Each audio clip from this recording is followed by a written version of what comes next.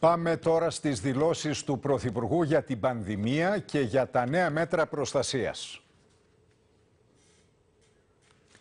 Τα νέα μέτρα προστασίας για τον κορονοϊό. Ε, όλοι περιμένουμε την, ε, το lockdown, το νέο lockdown. Ενημερώθηκα για την εισήγηση της Επιτροπής των Ειδικών μας. Θέλησα προσωπικά να σας ανακοινώσω την απόφαση για τα νέα μέτρα και να εξηγήσω τους λόγους που μας οδήγησαν σε αυτά. Συμπληρώνεται σχεδόν χρόνος από το ξέσπασμα της πανδημίας. Και η Ελλάδα, μαζί με ελάχιστες χώρες του Ευρωπαϊκού Βορρά, αντιστέκεται μέχρι στιγμής αποτελεσματικά στο τρίτο κύμα του κορονοϊού. Το δηλώνουν τα επίσημα ευρωπαϊκά στοιχεία, που φέρνουν τη χώρα στην 23η θέση σε απώλειες μεταξύ των 27. Αλλά το βεβαιώνουν και οι σύνθετοι δείκτες που παρακολουθεί η δική μας Επιστημονική Επιτροπή. Γνωρίζουμε όμως ότι οι επιθέσεις του κορονοϊού μπορεί να εκδηλωθούν ευθυδιαστικά και με ρυθμούς εκθετικούς, σαν τη φωτιά που απλώνεται γρήγορα και καταστροφικά.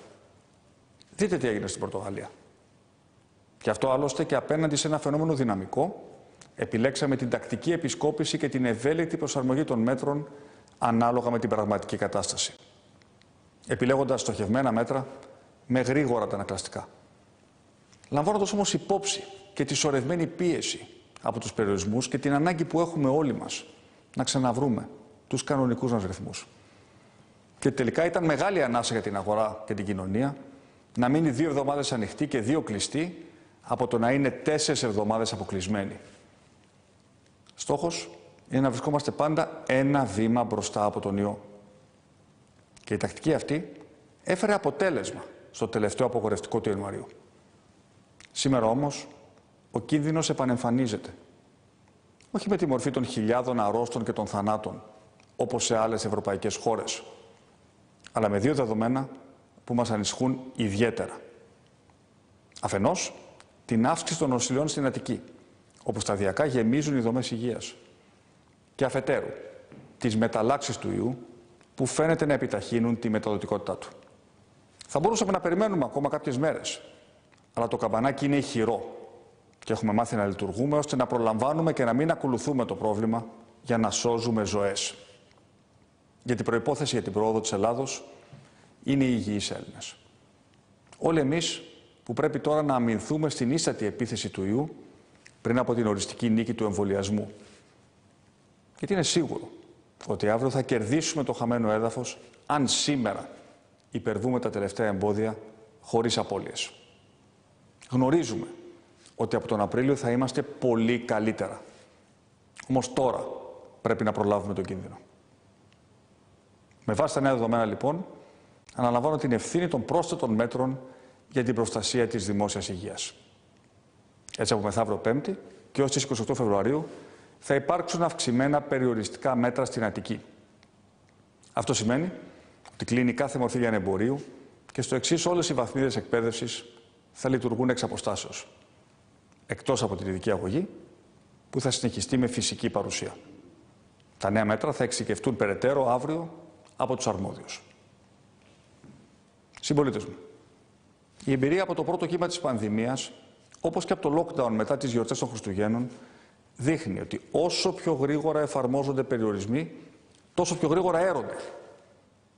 Και πως όσο δραστικότεροι είναι αυτοί, τόσο μεγαλύτερο είναι και το αποτέλεσμά τους. Αυτός είναι και ο λόγος των σημερινών μου επιλογών. Να χτυπηθεί η έξαρση του COVID πριν εξαπλωθεί, μειώνοντας συνολικά την κινητικότητα. Και να δοθεί χρόνος στο σύστημα υγείας, καθώς θα προχωρούν γρήγορα οι εμβολιασμοί. Γνωρίζω τι σημαίνουν όλα αυτά για την οικονομία. Για τον έμπορο που κρατά κλειστό το μαγαζί του. Για τον επαγγελματία που αφήνει τη δουλειά του. Για τον εργαζόμενο, αλλά και για τον άλλο. Θα ξαναπώ ωστόσο ότι δεν υπάρχει οικονομία χωρίς υγεία. Ούτε καλοί πελάτες χωρίς υγιείς πολίτες. Άλλωστε, μια προσπάθεια δύο εβδομάδων τώρα μπορεί να φέρει νωρίτερα το πλήρες άνοιγμα της αγοράς. Και όσο διαρκεί η κρίση, η πολιτεία θα συνεχίσει να στηρίζει τα νοικοκυριά και τις επιχειρήσεις. Όπως ήδη το δρομολογεί. Με το μηδενισμό του ενοικίου επιχειρήσεων που θα παραμένουν κλειστές και το Μάρτιο, αλλά και την παράταση του μειωμένου ΦΠΑ σε συγκεκριμένα αγαθά. Με την έκτη και την 7η επιστευτέα προκαταβολή και τη χρηματοδοτούμενη αναστολή εργασίας. αλλά και με την παράταση των επιδομάτων ανεργίας και την αναστολή οφειλών προς δημόσια και ταμεία. Γνωρίζω καλά όμως και την αγωνία της κοινωνίας. Νιώθω την πολύμηνη κούραση, τον εκνευρισμό, ιδιαίτερα στους μαθητές μας, που αποξενώνονται από το φυσικό τους περιβάλλον του σχολείου. Έχω και εγώ παιδί στο σχολείο και ξέρω. Καταλαβαίνω απόλυτα την αντίδραση των πολιτών. Θα μας ξανακλείσετε, με ρωτούν κάθε τόσο. Δεν είναι πολλοί αυτοί που μας κλείνουν, αλλά μόνο ένας απαντώ. Και αυτός είναι ο κορονοϊός που πρέπει να νικήσουμε. Αρλώντας δύναμη από αυτά που πετύχαμε και πίστη από αυτά που μπορούμε να πετύχουμε. Γιατί όποιες θυσίες καλούμαστε να κάνουμε τώρα, είναι στο χέρι μας να είναι και οι τελευταίες.